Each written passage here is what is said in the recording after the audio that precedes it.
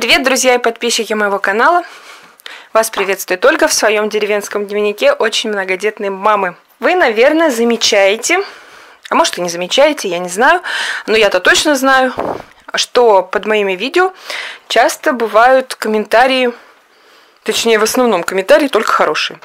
Вот, да, у меня комментарии под видео модерируются, и все плохие комментарии я удаляю. Вообще, я человек очень позитивно настроенный, оптимистичный, и хочу дарить людям радость.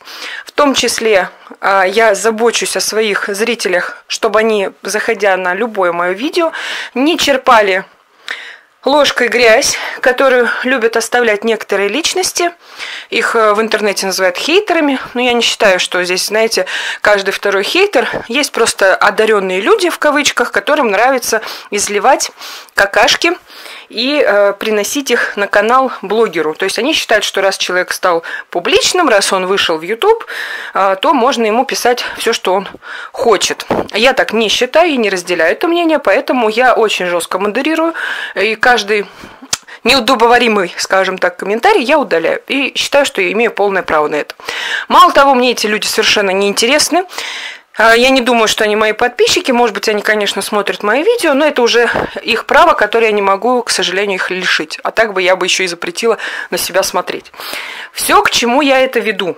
А к тому, что комментарии я теперь открою. Открою так, как они есть. И пускай эти люди пишут а, все, что хотят обо мне, о нашем хозяйстве, о нашей семье. А, почему я так вдруг резко решила поменять тактику? Ну, потому что, во-первых, э, сами понимаете, весь негатив я пропускаю одна и чисто только через себя. Я а, делюсь и стараюсь делиться с людьми позитивом, радостью, и, может быть, в каких-то моментах я рассказываю о насущных проблемах, но я стараюсь не жаловаться. И вы это все прекрасно знаете. Это все привело к тому, что мне перестали доверять люди. Да, именно так. Вы представляете? Для меня это было целым открытием. Меня считают большой лгуньей, вруньей, мошенницей и так далее. Почему?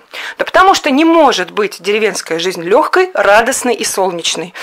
Почему не может? Ну, потому что это бесконечный адский труд, это жизнь без отпуска выходных, это в любом состоянии встань и иди за этой коровой, убирай навоз, это постоянно вонючие руки, грязные ноги, это постоянно мухи, нет больничных, нет праздников, вообще ничего нет, кроме грязи, вони и мата. Потому что у нас в основном, знаете, как бы люди, которые держат животных, матерятся.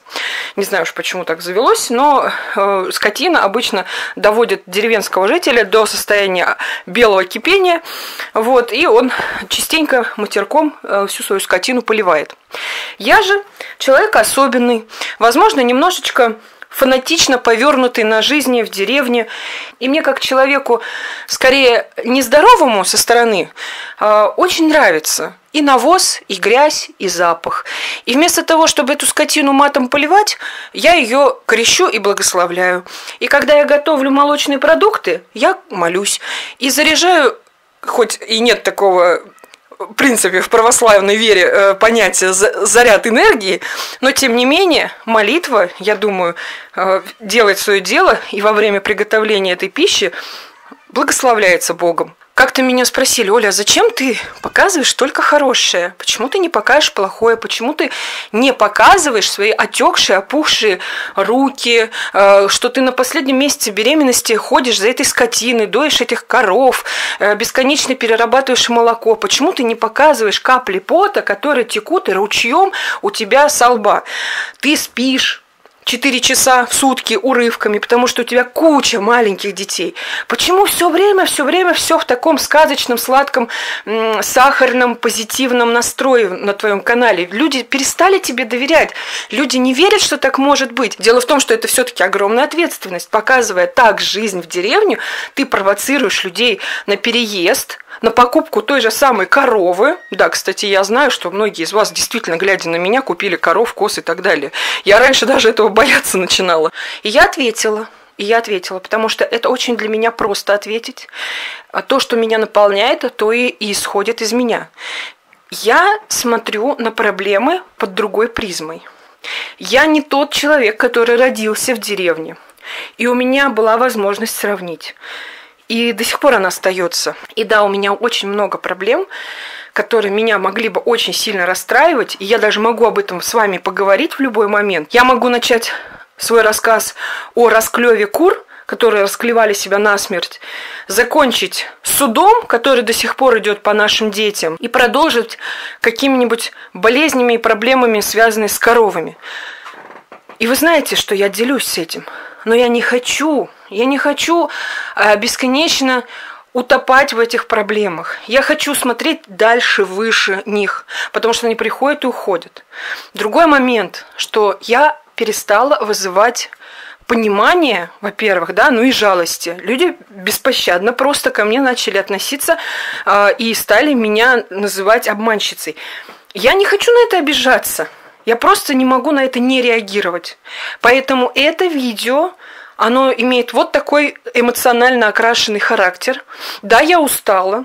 Я действительно очень сильно устала от комментариев, которые мне пишут мои зрители. И что я хочу сказать? Во-первых, я больше не хочу удалять плохие комментарии, можете писать их сколько угодно, а, но и в то же время я больше не хочу вас убеждать, что у меня все замечательно и хорошо, что мы живем просто сладко и красочно, а буду вам рассказывать все как есть. Да, у нас есть кредиты, и у мужа, и у меня на 5 лет. Да, мы покупаем в долг.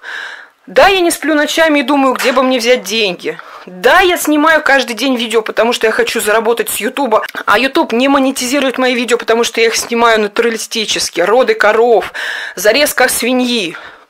Да, я не хочу снимать себя, потому что есть люди, которым мне просто не хочется показывать свое лицо. И я, скорее всего, не выдержу критику, которая меня, на меня обрушится, потому что я выгляжу сейчас не очень.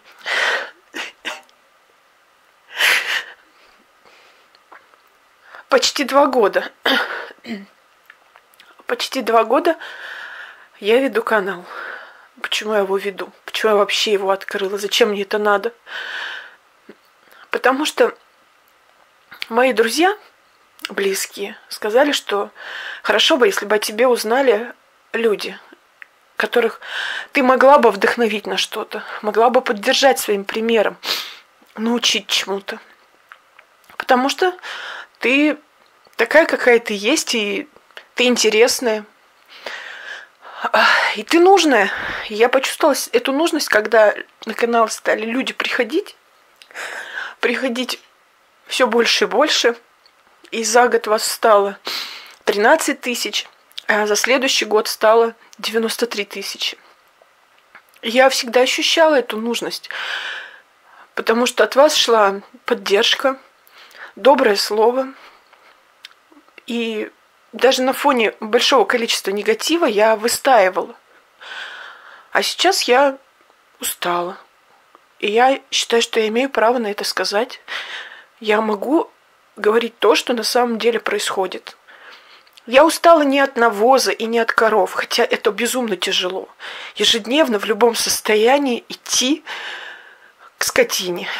Особенно тяжело, когда ты еще находишься дома. У тебя болят, болит спина, болят руки, отекшие ноги, бессонная ночь. Все дает знать о себе. Но как только ты приходишь в сарай, я говорю про себя – все отпускает. А я люблю, я люблю своих коров, я люблю своих коз, свиней, кур. И вы знаете, это, похоже, действует. Именно поэтому они чистые, ухоженные, накормленные, красивые и дают много молока. А не потому, что я хочу вас обмануть или хочу что-то придумать. Нет, я не хочу ничего этого. Я тысячу раз говорила. Вы не верите мне?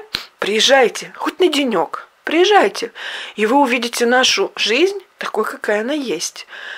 А она такая, какая я вам ее показываю. Просто я смотрю на нее по-другому, не так, как вы.